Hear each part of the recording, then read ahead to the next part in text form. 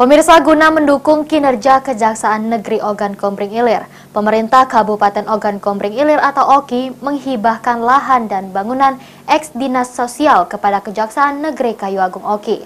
Lahan ini nantinya dibangun kantor Kejaksaan Negeri OKI yang barunya.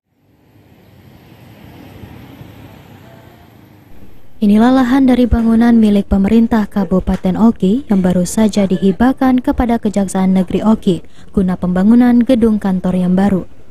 Kepala Badan Pengelolaan Keuangan dan Aset Daerah atau BPKAD Kabupaten Oki, Munim membenarkan telah dihibahkannya lahan dan gedung aset Pemkap Oki ini kepada Kejaksaan Negeri Oki dengan lahan seluas 7.333 meter yang tepat berada di pinggir jalan Simpang 4 Lampu Merah.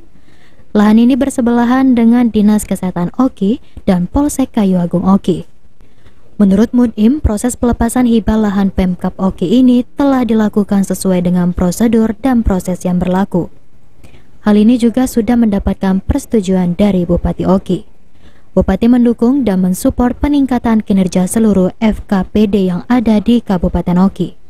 Pasalnya sebelum hibah lahan untuk Kejaksaan Oki ini, Pemkap Oki juga telah menghibahkan lahan bangunan untuk peningkatan kantor pengadilan negeri Kayu Agung Oki, kantor BNN Oki, kantor BPN Oki, kantor BPS Oki, peningkatan kantor pajak Oki, dan kantor pengadilan agama Oki.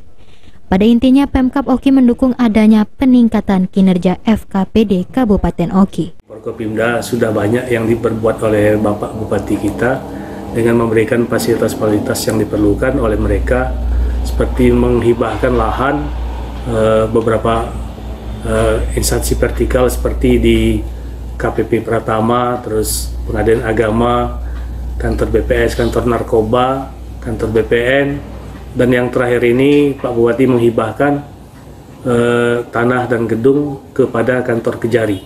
Itu saja Pak. Harap mereka bekerja. Ahmad Romawi, Bỏ đi.